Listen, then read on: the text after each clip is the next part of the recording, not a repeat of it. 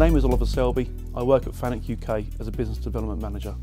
My role within Fanuc is to ensure we secure business with those end customers that use our product, but also to secure business with OEM customers who build our product into theirs.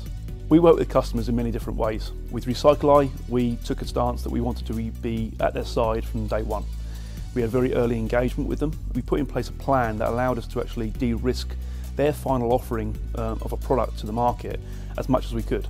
This meant that we had to do simulations, we had to do physical trials, um, and we made sure that we were in a position when we finally released that product to market that it was uh, it was going to work. Yeah, exactly what they were going to offer to the market was the product that they had dreamt of when they started the company. My name is Victor Dewulf and I'm the Chief Executive Officer of Recycleye.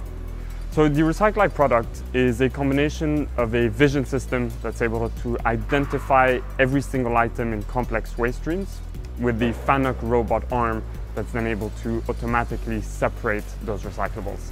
Everybody per day generates an average of one kilo and a half of waste uh, all of that waste eventually reaches, if you do put it in, in the red recycling bin, a large-scale waste facility. Uh, and our product is all about making those facilities more efficient, run 24-7, to ultimately reduce the cost of sorting and enabling higher sorting rates.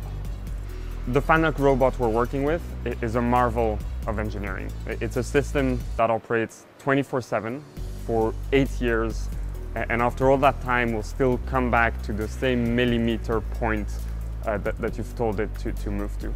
And so obviously leveraging this uh, as a base uh, to really build a robust system uh, has allowed us to really accelerate our product development. When we engaged in those very first conversations, we had to find a way to differentiate Recycleye against the competition in the market. Now there are many different ways in which we can use robotics to actually pick waste using delta robots, so sort of spider type robots, but also six axis robots and also different ways in which we could actually use those robots to get the highest throughputs possible. We ended up with a solution that allowed a, a higher throughput than what was sort of already available on the market uh, and a really great solution which used quite a small robot, easy to deploy, easy to install and with fairly low lifetime costs. Fanuc started supporting Recycleye when we were just a team of four people. Uh, and they really put their faith into us and, in the product we set out to deliver. Um, and they've really been a key part in supporting us in, in growing into a company that, that's now 30 people and deploying all across Europe and beyond.